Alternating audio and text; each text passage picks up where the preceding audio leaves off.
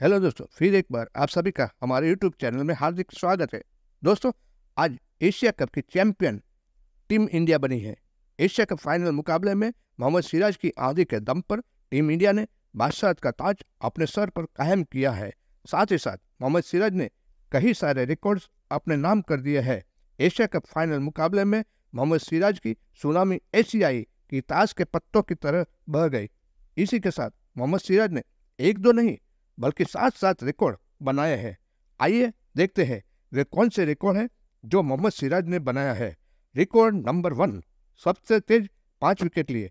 Asia cup के final मुकाबले में तेज गेंदबाज मोहम्मद सिराज ने शानदार गेंदबाजी की और शुरू की ओवरों में ही श्रीलंका की आधी टीम को पेविलियन में लौटा दिया। इस दौरान मोहम्मद सिराज ने सबसे तेज पाँच विकेट लेने का रिकॉर्ड भी अपने नाम कर दिया। मोहम्मद सिराज ने सिर्फ़ सोलह गेंदों पर पारी में पाँच विकेट लिए। इनमें से चार विकेट तो एक ही ओवर में लिए। रिकॉर्ड नंबर दो, एक ओवर में चार विकेट लेने वाले तीसरे गेंदबाज बने। एशिया कप के फाइनल में मोहम्मद सिराज ने अपने नाम एक और बड़ा रिकॉर्ड किया।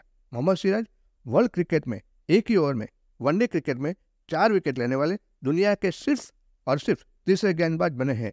मोहम्मद सिराज से पहले एक कारनामा, श्रीलंका के चामिंडा वास बांग्लादेश के सामने 2003 और लसित मलिंगा ने साउथ अफ्रीका के सामने 2007 में चार चार विकेट लिए थे।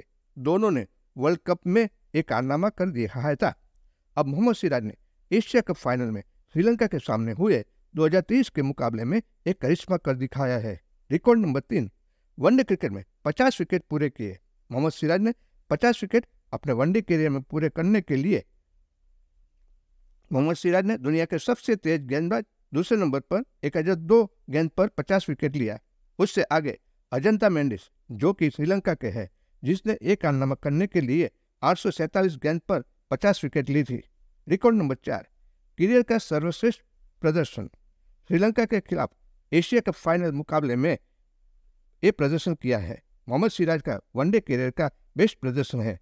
पहली बार पाँच विकेट ली, साथ ही सात ओवर में सिर्फ़ 21 रन देकर छह विकेट लिया है। और रिकॉर्ड नंबर